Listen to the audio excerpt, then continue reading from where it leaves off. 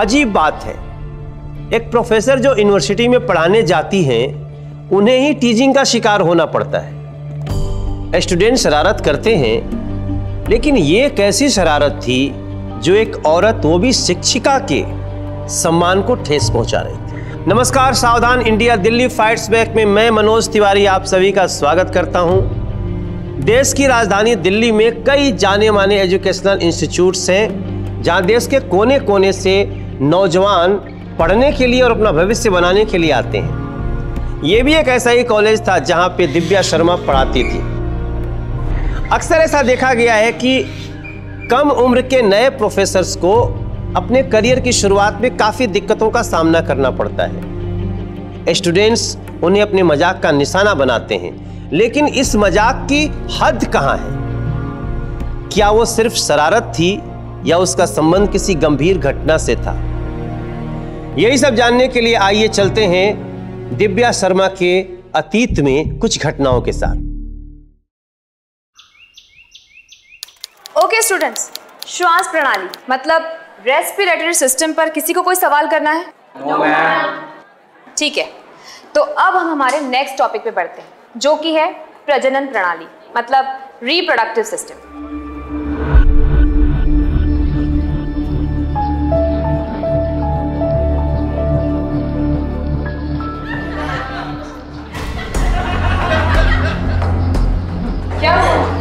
ma'am one question बोलो। Ma'am ये पेड़ पौधे कैसे प्रजनन करते होंगे? इनके पास तो हमारी तरह कोई साधन भी नहीं होता। यही वजह है कि वो लोग हमसे सुरक्षित है। कभी सुना है? किसी पेड़ ने दूसरे पेड़ के साथ बदतमीजी की हो? तुम लोगों के ऐसे रवैये उन्हें बढ़ावा देते हैं।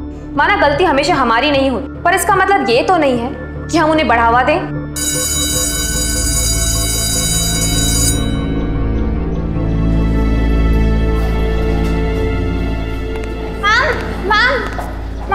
वेरी सॉरी हमें ऐसा नहीं करना चाहिए था। चलो, कोई बात नहीं। तुम लोगों को एहसास हुआ? मेरे लिए इतना ही काफ़ी है। मैं जानती हूँ कि ऐसे सब्जेक्ट्स पर स्टूडेंट्स की क्यूरियोसिटी बढ़ जाती है और बड़ी नेचुरल सी बात है, पर उसे अश्लीलता की हद तक ले जाना ओछी सोच की निशानी है। तुम लोग इंटरनेट के ज़माने के हो। अगर कोई डाउट है तो उसे इंटरनेट पर सर्च करके क्लियर कर लो।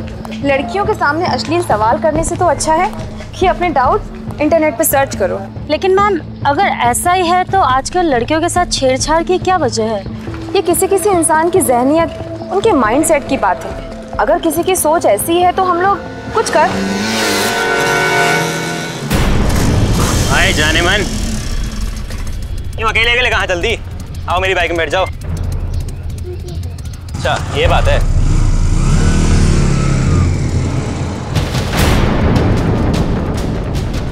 बदतमीजी है। मैं तुम्हारी कंप्लेंट प्रिंसिपल सर से करूँगी। ऐसा कसम मत करना। अगर तुम मेरी कंप्लेंट प्रिंसिपल से करोगी ना तो मैं भी प्रिंसिपल की कंप्लेंट अपने बाप से कर दूँगा। जानती मेरे बाप कौन है? इस कॉलेज का ट्रस्टी है मेरे बाप। चलो ना जाने भाई। अरे जाने चलो ना मेरे साथ। छोड़ो बाइक में बैठो चलो चलो ना जाने भाई। अरे जाने भाई चलो ना। अरे जाने भाई चलो। दिन दहाड़े कॉलेज के सामने एक अमीर बाप के साहबजादे ने एक लड़की के साथ बदसलूकी की। इस यकीन के साथ कि उनके इस हरकत पे कोई कार्रवाई नहीं होगी क्योंकि उनके बाप मंत्री थे। कुछ लोग दिल्ली में इसी गलतफहमी में जीते हैं। उस दिन जो कुछ भी हुआ बहुत शर्मनाक था। सोचिए, हमारे आपके घर की बेटियाँ बाहर जाती हैं काम करने और पढ़ने, ताकि अपना नाम कर सकें, जमाने के साथ कदम मिला के चल सकें। लेकिन कुछ लोग हैं जो न तो आगे बढ़ना चाहते हैं और न तो किसी को बढ़ने देना चाहते हैं। क्या ये हादसा किसी और बड़े हादसे की दस्तक थी? क्या होने वाला था?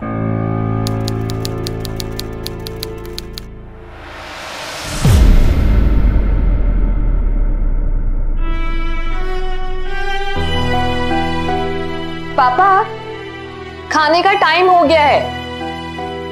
पापा आज माँ की बरसी है। मैंने गार्ड से बोल दिया है कि आसपास के गरीब बच्चों को बुला लाए मैंने सबके लिए खाना बनाया है। तूने कुछ खाया? पापा मैं खा लूँगी पापा। पहले आप खाइए।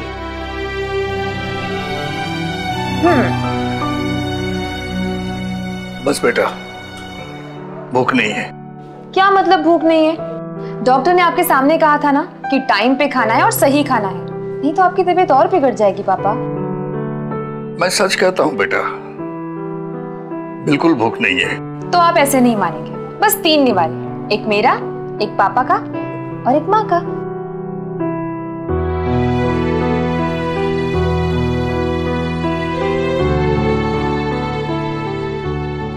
पता है बेटा तेरे रूप में मेरी माँ लौट के आई है। पापा अब अगर आप रोज बच्चों की तरह जिद करेंगे तो मुझे तो माँ बनना ही होगा। और वैसे भी कहते हैं ना पापा कि बेटियाँ बड़ी होकर माँ जैसी ही बन जाती हैं।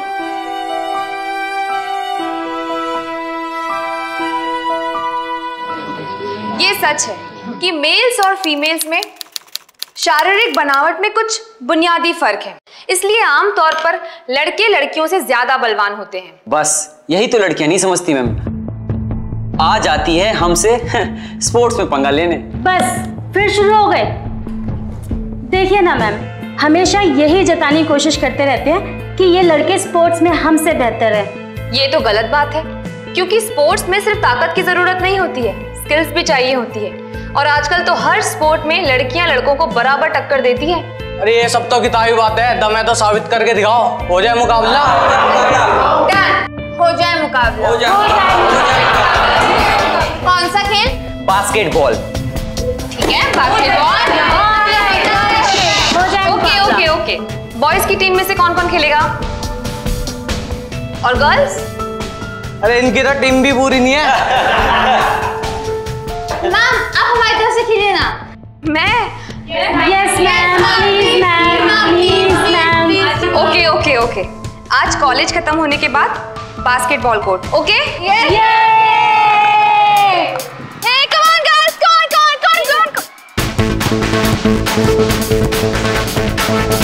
We'll be right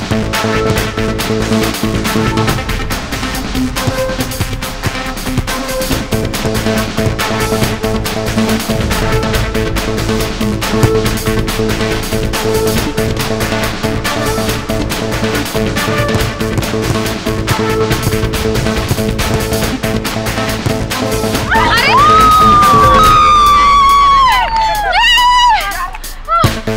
Come on! पढ़ तो पास कर पढ़ पढ़ पढ़। यार मस्त है यार। बस नहीं बे टोटा है टोटा। मैं तेरे को बोलता था ना लड़कियाँ साड़ी में सबसे सेक्सी दिखती है। साड़ी के सामने इसका जीन्स साला सब फेल है। ये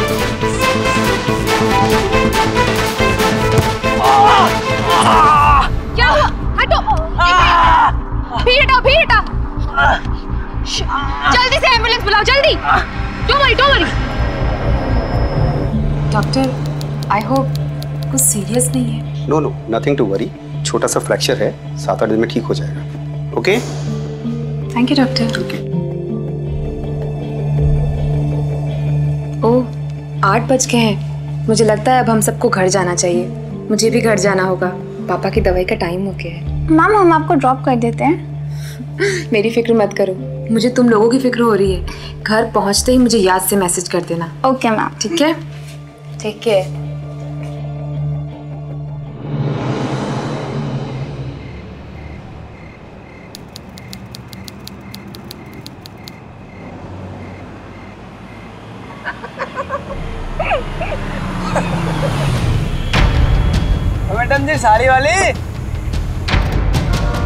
जी कहाँ जाना है? आ जाओ हम छोड़ देते हैं। अरे मैडम कहाँ बस के धक्के खाती फिरोगी आ जाओ गाड़ी की सैर करवा देते हैं। ना लौंडे बड़े शरीफ है मैडम जी।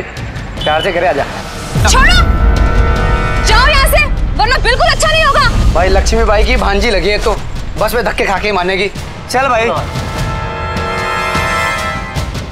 चल चल चल।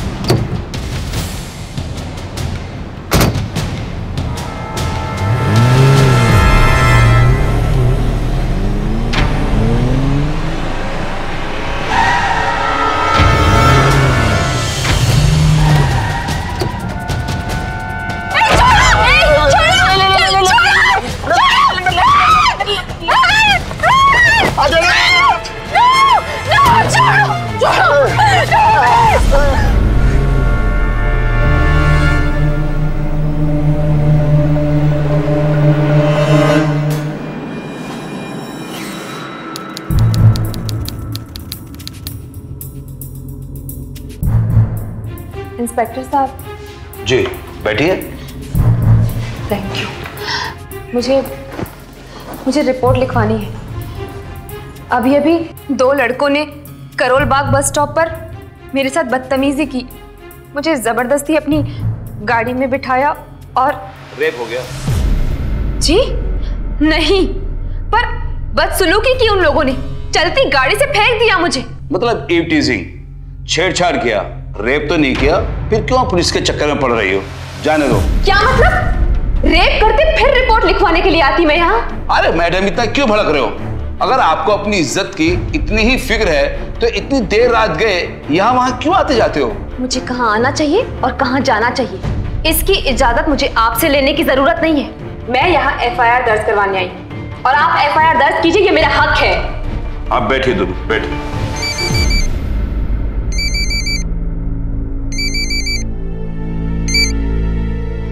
हाँ पापा। हाँ कहाँ रह गई बेटा?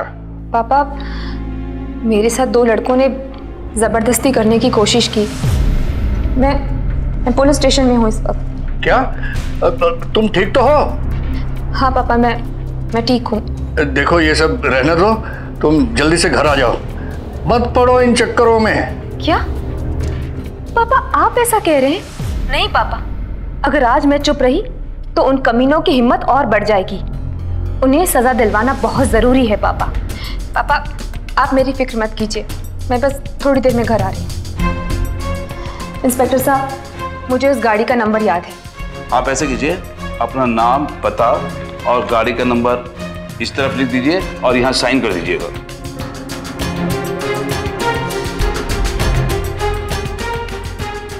लीजिए। ठीक। ये लीजिए अपनी एफ़ प्लीज़। जल्द से जल्द पता लगाइए किसकी गाड़ी थी और मुझे इन्फॉर्म कीजिए। शुक्रिया। कोई बात आप जा सकते हैं।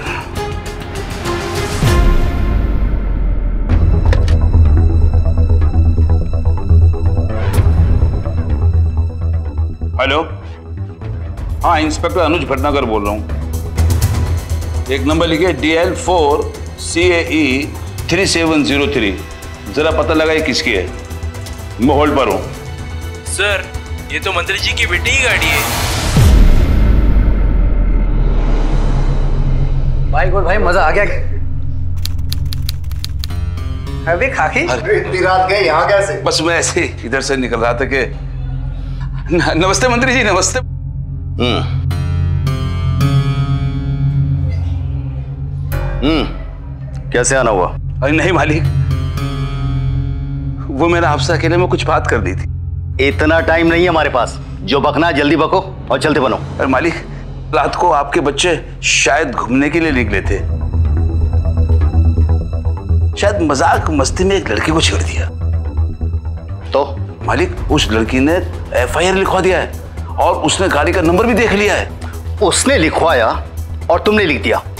एक लड़की नहीं संभलती तुमसे। मालिक मुझे पता नहीं था कि आपकी गाड़ी है इसीलिए अब जाओ रफा दफ़ा करो मसले को। देश के इतने सारे मसलों के बोझ वैसे ही मेरे सर पे हैं। इस मसले को भी मैं सुलझाऊँगा क्या? जाओ। ठीक है मालिक मैं सब संभाल लूँगा। सुनो जी मालिक अभी मत जाना। आजकल इस मीडिया की वजह से ऐरे गहरे लोग भी समझते हैं कि वो हीरो बन जाएँगे। कल सुबह जाना। कल सुबह तक शायद लड़की का गुस्सा भी ठंडा हो जाएगा। ठीक है मालिक ठीक है मालिक।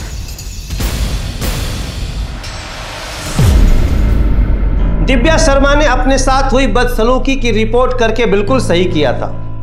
लेकिन पुलिस ऑफिसर का रवैया हैरान करने वाला था। दरअसल रवि और मनीष अपने बाप की ऊँची हैसियत का गलत इस्तेमाल कर रहे थे और पुलिस ऑफिसर दबाव में था। यह बड़े अफसोस की बात है कि कुछ पावरफुल लोग ईमानदार अफसर को काम नहीं करने देते। लेकिन ऐसा अक्सर नहीं होता। चाहे वो कितनी भी ऊँची हैसियत का व्यक्ति हो अगर वो या उसका रिश्तेदार अपनी हदें पार करता है तो उसके खिलाफ आवाज़ उठाना बिल्कुल ज़रूरी है जो कि दिव्या शर्मा ने किया। शर्मा जी आप तो समझदार हैं। पूछनी सभी जानते हैं। पापा? नमस्ते दिव्या जी। नमस्ते। आप जी कुछ पता चला किसकी गाड़ी थी? जी हाँ पता चला। इसीलिए आपके पापा को समझा रहा था कि आपको ये केस वापस ले लेना चाहिए। जी? बच्चे गलती हो ही जाती। किसके बच्चे हैं? एमएलए दिनेश मिश्रा के बेटे थे। और मैं आप ही की भलाई के बारे में कह रहा हूँ। मैंने मंत्री से ही बात कर ली है। वो भी इस केस को रफा दफ़ा करने के लिए तैयार हैं। क्या बदतमीजी वो करे और केस भी रफा दफ़ा वो ही करे। दिव्या जी क्यों इतनी सी बात को तूल दे रही हो? इतनी सी बात? ये इतनी सी बात नहीं है। और आप मेरी बात गौर से सुनिए। मैं ये केस वापस नहीं लूँगी। उन क्रिमिनल की पैरवी करना बंद कीजिए और एक्शन लीजिए। ड्यूटी निभाइए अपनी। जैसी आपकी मर्ज़ी। मैं तो आपकी भलाई के बारे में ही सोच रहा था। अगर आपको शौक है ऐसी हालत में अपने पापा को छोड़कर कोर्ट कचहरी के चक्कर लगाने का तो यही सही। मैं तो चलता हूँ। नमस्ते।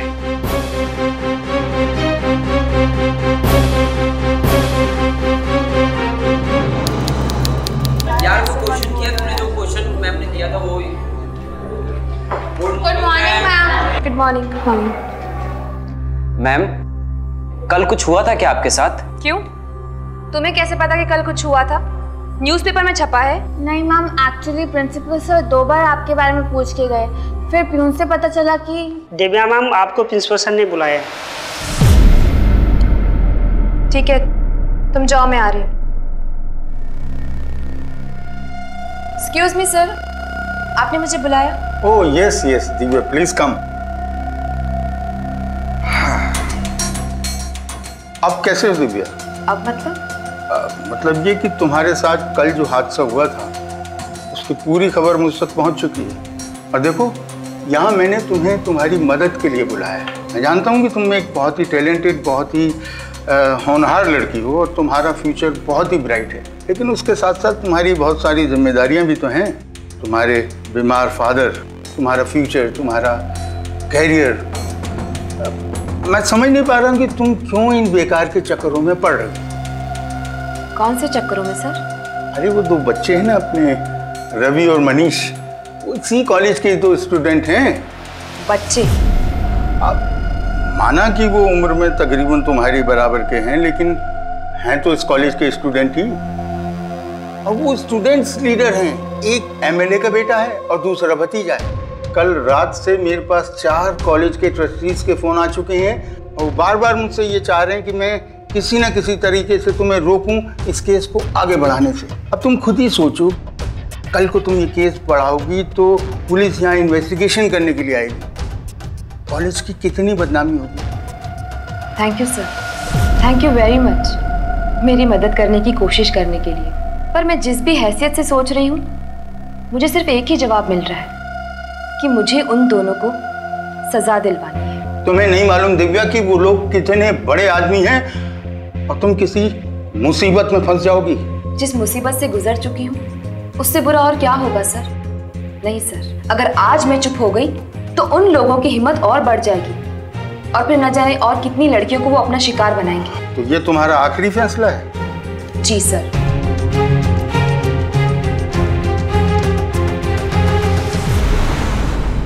सर, बात को समझ रहे हैं ना। अब देखिए, ये थोड़ी बहुत छेड़ाखानी तो हर जगह चलती रहती है। और एक बात तो आप भी मानेंगे कि लड़कियाँ चाहे जितना भी हो, हल्ला मचा ले। लेकिन कहीं ना कहीं इन्हें भी ये सब अच्छा लगता है, सर। वरना आप खुद सोचिए, अगर इनको कोई ना छेड़े तो खुद ही आईने के सामने खड़ी होकर परेशान हो जाए अपना चेहरा देख देख के। कह रहे, सब ठीक ठाक तो है? कोई हमें देख क्यों नहीं रहा? हमें कोई छेड़ क्यों नहीं रहा? आप समझ रहे हैं ना, सर। आप तो समझदार आदमी समझाइए ना अपनी बेटी को। ऐसे नहीं होता। दो महीने बाद चुनाव आ रहे हैं। नेताजी की साफ़ सुथरी छवि की धज्जियाँ उड़ जाएँगी। प्लीज़ सर मैं आपसे विनम्र विनती करता हूँ नेताजी की तरफ़ से। प्लीज़ समझाइए। और रही बात आपकी और आपकी बेटी की तो उसकी आप बिल्कुल चिंता मत कीजिए। आपका और आपकी बेटी का। हम पूरा ख्याल रखेंगे सर आपके प्रस्ताव के लिए बहुत बहुत शुक्रिया। और आप जा सकते हैं यहाँ से। हमें किसी की मदद की कोई ज़रूरत नहीं है। जाकर कह दीजिए मंत्री जी से दिव्या केस वापस नहीं लेगी। दिव्या बेटा नहीं पापा इन लोगों से ऐसे ही बात करनी चाहिए। जिनके लिए एक लड़की की इज़्ज़त पे हाथ डालना बहुत मामूली सी बात होती है। देखिए मेरा काम था समझाना। लेकिन अब इसके बाद जो कुछ भी होगा उसके जिम्मेदार आप खुद होंगे दिव्या जी।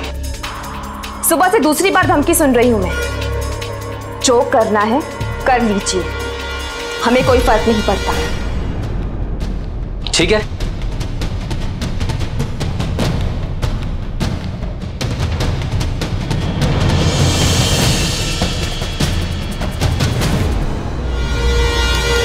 किसी को भी कोई डाउट है तो प्लीज़ क्लियर कर लो। मैंने एक पीरियड का एक्सटेंशन लिया हुआ है। एग्ज़ाम सर पर है तो मैं नहीं चाहती हूँ किसी के दिमाग में कोई डाउट रहे। ओके okay, मैम हम 10 मिनट में लंच ब्रेक लेके आते हैं। ठीक है। आप भी चलिए ना हमारे साथ। हाँ मैम प्लीज़ नहीं मुझे बिल्कुल भूख नहीं है। और वैसे भी मैं बाहर का खाना अवॉइड करती हूँ। तुम लोग जल्दी जाओ मैं वेट कर रही हूँ ओके थैंक यू ओके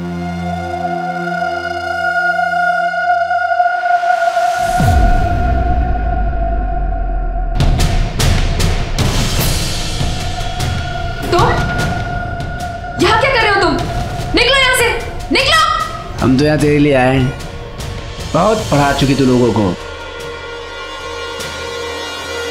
अब हम तुझे सबक सिखाएँगे। देखो मैं कह रही हूँ सही नहीं होगा। छोड़ो! बचाओ! ये आखिरी बार है तेरी क्योंकि इसके बाद हम तुझे कुछ बोलने लायक नहीं छोड़ेंगे।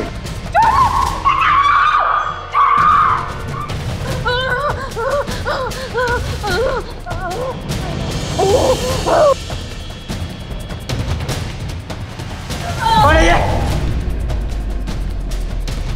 कौन है ये क्या नाम है इसका दिव्या मैम सिर्फ़ दिव्या क्योंकि इसकी इज़्ज़त की धज्जियाँ उड़ चुकी है। कोई इसको दिव्या मैम नहीं बोलेगा। तूने कहा था ना? जो मर्ज़ी आए कर लो। मर्ज़ी की तो हत्या भी नहीं की अभी हमने। से बोल रहे। तेरे को एक मौका और दे रहे। केस वापस ले ले किसी ने भी इसकी मदद करने की कोशिश की? या फिर ये बात बाहर गई? तो याद रखना उसका मैं इससे भी बुरा हाल करूँगा। और तू? केस वापस ले लेना।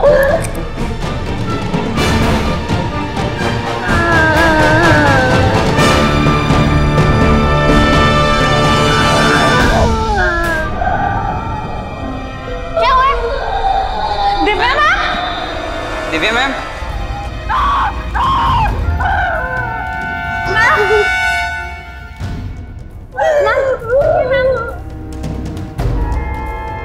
दिव्या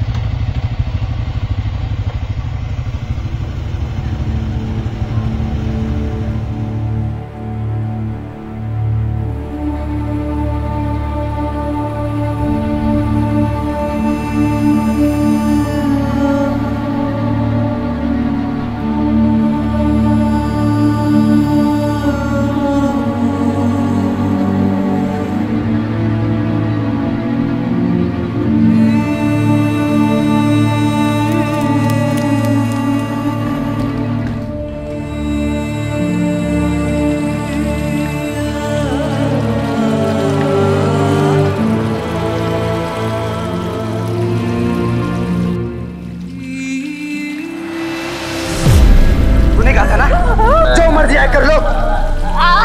मर्ज़ी की तो हत्या भी नहीं किया अभी हमने। प्यार से बोल रहे तेरे को एक मौका और दे रहे केस वापस ले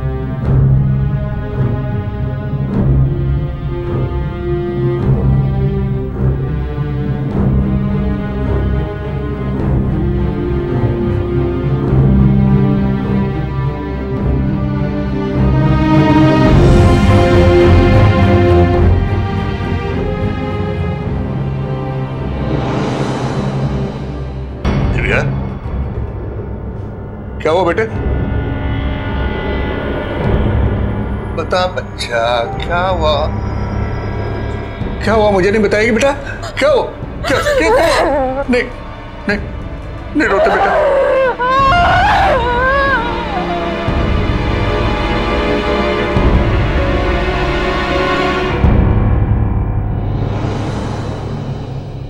कुछ खा ले मेरे बच्चे। किसी और की सजा खुद को क्यों दे रही हो? अपने आप को संभालो। और उन मुजरिमों को उनकी सही जगह दिखाओ।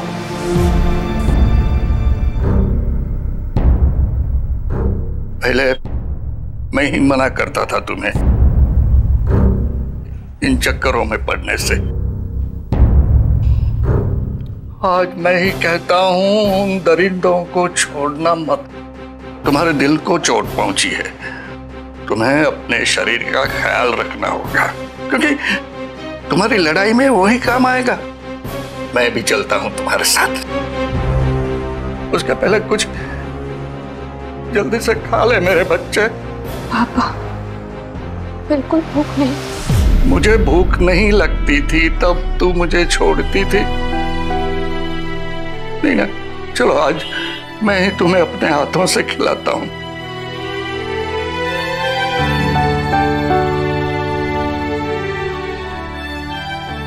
तीन निवाले एक मेरा। एक मक्का। और एक बिटिया का।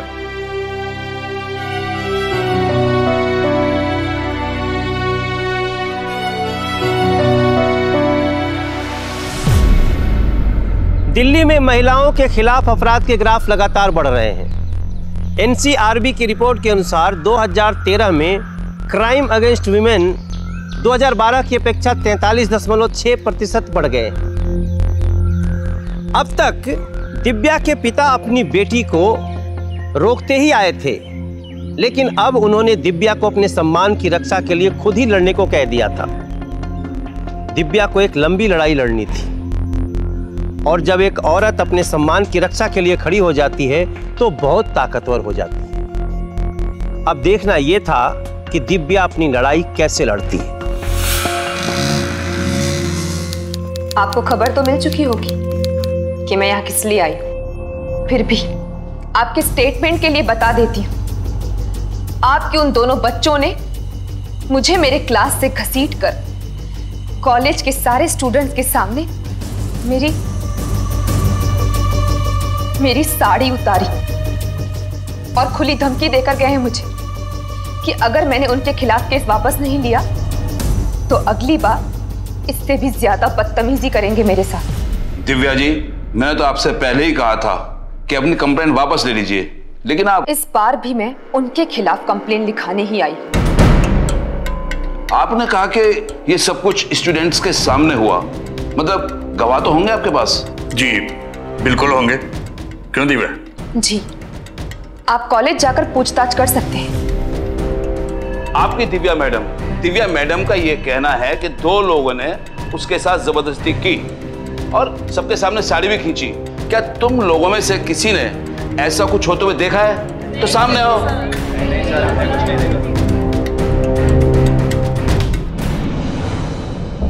यार वीरू तू तो था वहाँ तो बताना इंस्पेक्टर को। अरे यार वो लोग मेरे आते आते पहले ही निकल चुके थे। झूठ बोल रहा है तू कोई जबान नहीं खोले। क्यों ना हम जाकर उन्हें बता दें? नहीं यार तब हम लोग वहाँ पर नहीं थे अगर हमने कुछ गलत बोल दिया तो ये केस दिव्या मैम के खिलाफ भी जा सकता है। कुछ दिनों पहले हमारे न्यूज़ चैनल ने एक सनसनीखेज मामले का खुलासा किया जिसमें दिनेश मिश्रा जी के बेटे और उनके भतीजे के खिलाफ यूनिवर्सिटी के एक लेक्चरर दिव्या शर्मा ने छेड़खानी का आरोप लगाया। इसी मामले के तहत एक और तथ्य सामने आया है। दिव्या ने उन दोनों आरोपियों के खिलाफ एक और केस फ़ाइल कर दिया है। कितनी सच्चाई इन आरोपों के पीछे? जानने के लिए हम चलते हैं दिनेश मिश्रा जी के पास। देखिए, इस मामले में हमें सफ़ाई देने की कोई ज़रूरत नहीं है। लेकिन फिर भी जैसे आपकी मीडिया ने इतना हंगामा मचा ही लिया है तो हम आपको एक बात साफ़ बता दें कि ये इल्ज़ाम बेकार और बेबुनियाद है। जिस दिन की वो लड़की बात कर रही है, जिस समय की वो बात कर रहे हैं उस समय मेरे दोनों बच्चे मेरे साथ थे। और हम तीनों शिक्षा मंत्री योगेंद्र सचदेवा जी के साथ मीटिंग कर रहे थे। हम गाँव के गरीब बच्चों के लिए मुफ़्त शिक्षा की योजना बना रहे थे। लेकिन मिश्रा जी इतनी आग फैली हुई है कि आपको नहीं लगता कि कहीं ना कहीं कोई चिंगारी तो ज़रूर लगी होगी?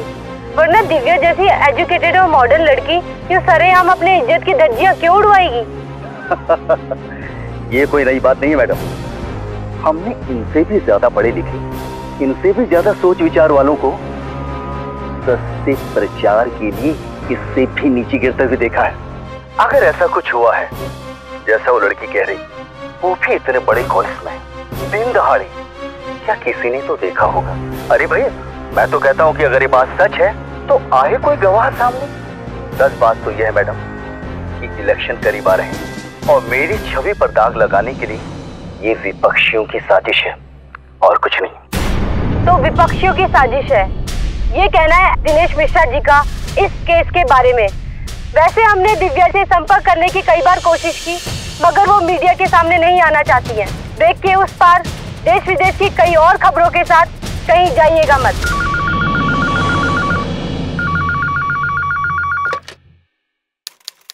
हेलो। हेलो दिव्या मैम मैं कॉलेज से बोल रहा हूँ। अगर आप कॉलेज नहीं आ पाओगे तो आपको कॉलेज से निकाल दिया जाएगा। ठीक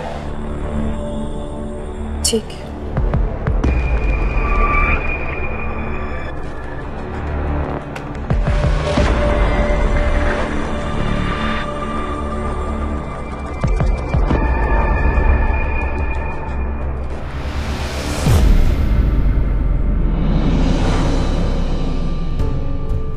क्या हुआ? किसका फ़ोन था? कॉलेज से फ़ोन था पापा।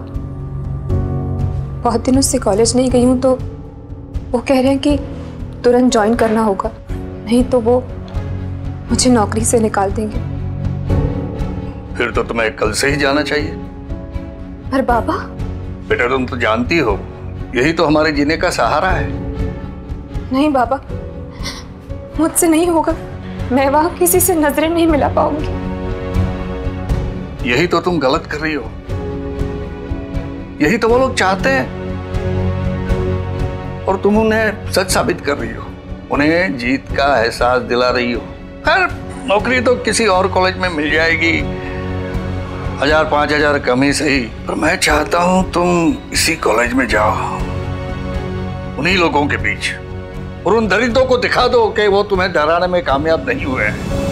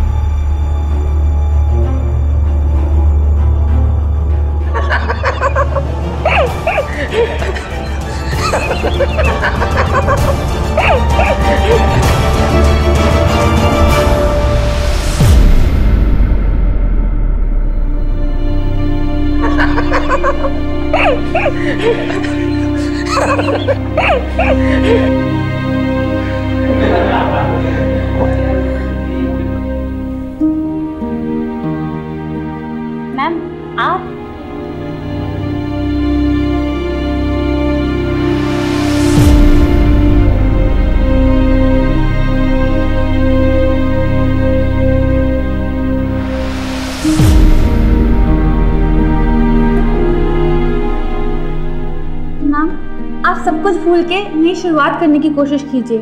हम आपके साथ हैं। ठीक है। तुम लोग बैठो।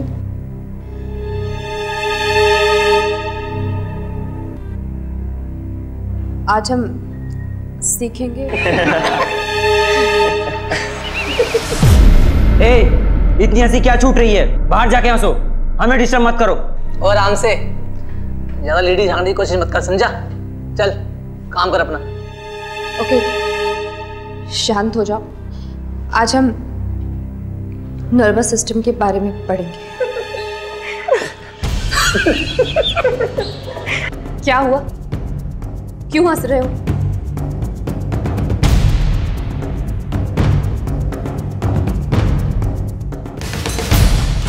क्या देख के हंस रहे थे?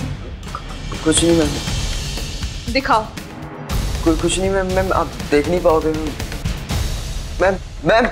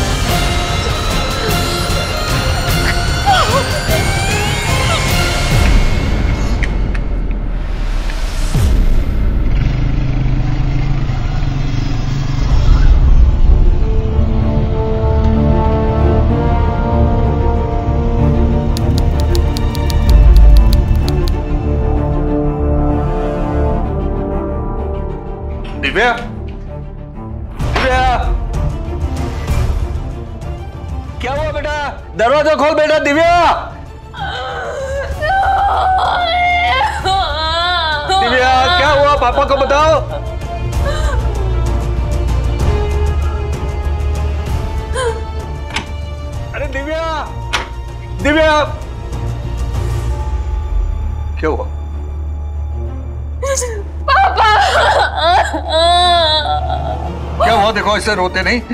हाँ, अपने पापा को बताओ क्या हुआ? पापा उन लोगों ने मुझे मुँह दिखाए नायक नहीं छोड़ा पापा पापा वो समझो उन लोगों ने मेरे साथ किया। वो किसी ने अपने मोबाइल में शूट कर लिया। क्या कह रही हो? कॉलेज के हर बच्चे के फ़ोन में है पापा क्या?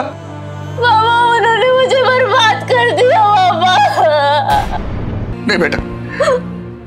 ऐसा नहीं सोचते बल्कि मुझे तो लगता है वो एमएमएस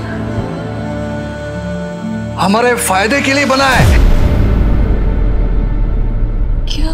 जरा सोचो आज तक कोई गवाही देने के लिए आगे नहीं आया था। ये एमएमएस हमारा सबसे बड़ा सबूत बन सकता है कि तुम्हारे साथ ही अत्याचार हुआ था। मैम मैम, आपके साथ जो भी हुआ, बहुत गलत हुआ। हम भी चुप नहीं बैठेंगे। हम आपके लिए कुछ करना चाहते हैं। बस आपकी परमिशन चाहिए। दिव्या के छात्रों ने सोशल नेटवर्किंग साइट्स का सहारा लेते हुए ये वीडियो पूरे देश भर में फैला दिया। और धीरे धीरे हर जगह इसकी चर्चा होने लगी। लेकिन गौरतलब बात यह थी कि उस वीडियो में सिर्फ़ वही हिस्सा था जिसमें दिव्या की साड़ी खींची गई थी। ना तो हमलावर की कोई तस्वीर थी, ना ही गवाह की। इसका अंजाम यह हुआ कि धीरे धीरे लोगों का विश्वास और भी पुख्ता हो गया कि यह सब कुछ दिव्या ने सिर्फ़ सस्ते प्रचार के लिए किया था। क्या चाहती थी दिव्या? क्यों किया था उसने ऐसा?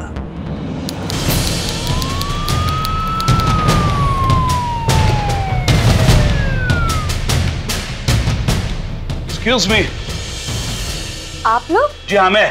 आपके खिलाफ अरेस्ट वारंट है। अरेस्ट वारंट लेकिन क्यों? आपको कुछ नहीं पता?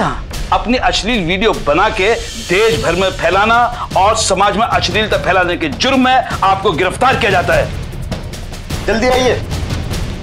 दिव्या जी पहले आपने एक ईमानदार नेता के बेटे और भतीजे के खिलाफ रिपोर्ट की और जब आपके सारे इल्ज़ाम बेबुनियाद साबित हो गए तो आपने अपना ही अश्लील वीडियो बनाकर सारे कॉलेज के बच्चों में फैला दिया। वो बच्चे जो कि देश का भविष्य है। आखिर आप चाहते क्या है? हाँ बताइए मैडम आप क्या चाहती हैं? चाहती क्या मुझे खुशी है इस बात की। कि आप लोगों ने मुझसे ये सवाल किया कि मैं क्या चाहती हूँ? मैं आप लोगों की गलतफहमी दूर करना चाहती हूँ। कैसी गलत फहमी आज तक मीडिया और पुलिस का यही मानना था ना कि मेरे सारे इल्ज़ाम बेबुनियाद और बेकार है तो ठीक है। आप लोगों ने वो एमएमएस तो ज़रूर देखा होगा। जी देखा है।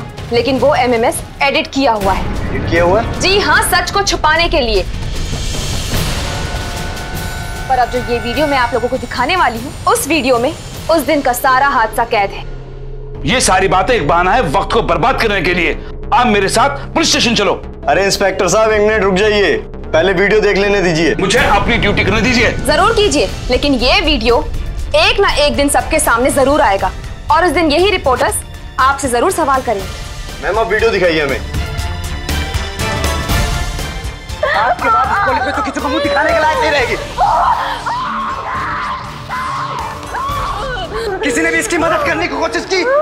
या फिर ये बात बाहर गई? तो याद रखना उसका इससे भी बुरा हाल करूँगा मैं।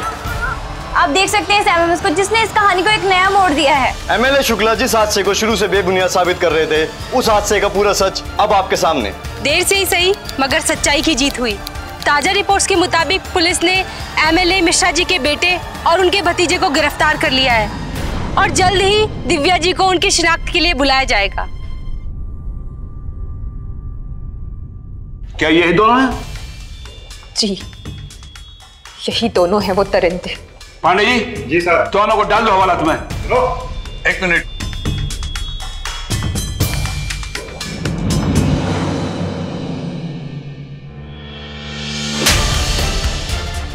दिव्या जी दिव्या जी बस बस बस।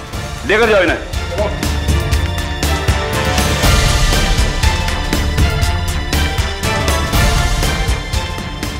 हम बार बार कहेंगे कि ये गलत फहमी है कि अमीर और ताकतवर लोग कोई भी जुर्म करके बच सकते हैं। आम लोगों का ये डर उन मुजरिमों के विश्वास को और ठोस बनाता है। दिव्या शर्मा ने यह सिद्ध कर दिया कि हिम्मत के आगे दौलत की कोई औकात नहीं है। एक ईमानदार इंसान अगर अपने हक और सम्मान के लिए खड़ा हो जाए तो हमेशा इतिहास बनाता है। रवि और मनीष को मोलेस्टेशन के लिए आईपीसी की धारा 509 असॉल्ट के लिए धारा तीन सौ चौवन और क्रिमिनल इंटिमिडेशन के लिए धारा 506 के तहत सात साल की कड़ी सजा सुनाई गई।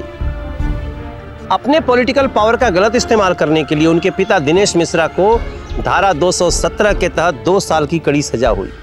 तो आपने देखी दिल्ली में औरतों पर शोषण की एक और दिल दहला देने वाली कहानी। औरत को अपने सम्मान का पूरा अधिकार है। इसलिए आप अन्याय के खिलाफ खामोश मत रहिए लड़िए मैं लूँगा विदा आपसे आज, फिर मिलूँगा दिल्ली में जुर्म से जंग की एक और सच्ची घटना के साथ। अब बोलती बंद होगी अपराध की, क्योंकि दिल्ली नहीं है किसी के बाप की। सावधान इंडिया, दिल्ली फाइट्स बैक।